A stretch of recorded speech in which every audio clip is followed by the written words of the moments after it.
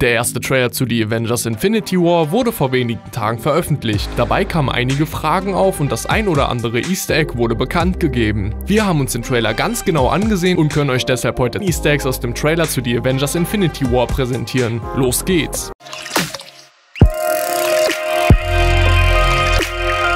Fangen wir an mit der Nummer 5. Direkt die ersten Bilder des Trailers lassen uns einen Planeten aus der Ferne beobachten. Im nächsten Shot sehen wir einen zutiefst verzweifelten Tony Stark, also hat er höchstwahrscheinlich das erste Aufeinandertreffen mit Thanos nicht so gut überstanden. Diese Szene erinnert zudem stark an die Vision, die Scarlet Witch ihm in Avengers Age of Ultron verpasst hat. Also entweder ist er zutiefst traurig, weil geliebte Menschen starben, oder weil Thanos ihm mit einem Infinity-Stein eine Vision in den Kopf gesetzt hat, die Tony Stark zusetzt. Und weiter mit der Nummer 4. Im Trailer bekommen wir eine Szene zu Gesicht, in der der Bruce Banner alias Hulk in ein Haus stürzt und dort von Doctor Strange begrüßt wird. Daraus lässt sich schließen, dass Thanos Asgard wieder einmal zerstört hat und Hulk von ihm besiegt wurde. Das bedeutet jedoch, dass Thanos den ersten Infinity-Stein an sich nehmen konnte. Und weiter mit der Nummer 3. Nach den Ereignissen in Captain America Civil War sind die Avengers gespalten. Scarlet Witch und The Vision scheinen ihre Romanze vertieft zu haben und leben als Paar im Exil. Die Besonderheit, The Vision hat sich zur Tarnung das Aussehen eines Menschen angeeignet. Die Entwicklung ihrer Beziehung passt zum Castingaufruf, der nach Schauspielern für Kinder der beiden sucht. Außerdem interessant, der Mindstone ist dafür bekannt, dass er den Träger seine Träume, Wünsche und Sehnsüchte zeigt. Da der Stein in der Szene leuchtet, scheint er eben das in diesem besonderen Moment zu tun.